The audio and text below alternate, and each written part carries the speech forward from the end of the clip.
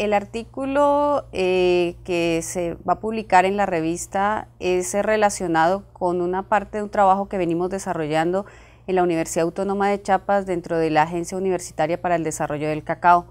Es una metodología que se viene trabajando para el mejoramiento del cultivo del cacao. En este caso, lo que realizamos nosotros es la eh, participación de los productores de cacao en este proceso de mejoramiento,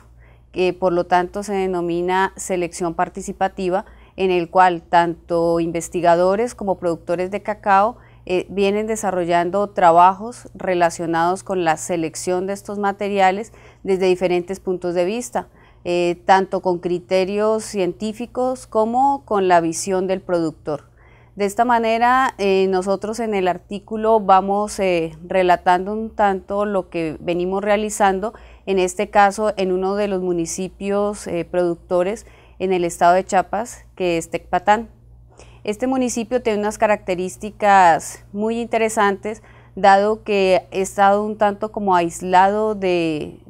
la introducción de materiales de otros lugares, por lo tanto podemos decir que, o la hipótesis que nosotros teníamos, es que en este lugar se encontraban materiales eh, más eh, viejos que en otros eh, lugares del estado y prácticamente de México, conservando un material y un legado que viene desde hace mucho tiempo y una gran diversidad de estos materiales. De esta manera, nosotros iniciamos el trabajo a partir del año 2012 eh, con una parte de trabajo con los productores de la, de la SPR Cacao Tecpateco. Eh, se realizó una reunión informativa con ellos en sus asambleas que ellos realizan. se invitaron a los productores, se les mencionó en qué consistía el trabajo y de esta manera logramos que 15 productores de manera voluntaria eh, ingresaran a trabajar con nosotros en el proyecto.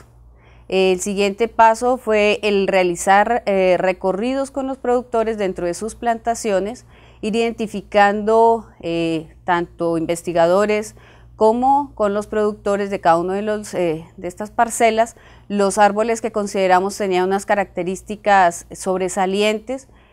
o diferentes que pudieran ser de interés agronómico y eh, ya posteriormente, una vez marcados estos materiales, eh, nosotros eh, empezamos a hacer caracterización de cada uno de ellos referente a el estado del árbol, la altura del mismo, el tipo de la hoja, características de la flor, la cantidad de frutos que están enfermos, que el, y de ahí ya una parte importante en la parte agronómica, que es la calidad de la semilla referente a la cantidad de semillas que hay en un fruto, eh, cuántos frutos produce eh, y de esta semilla también eh, cuál es la calidad de la misma. Hay diferentes índices que pues en el artículo se relatan y de esta manera nosotros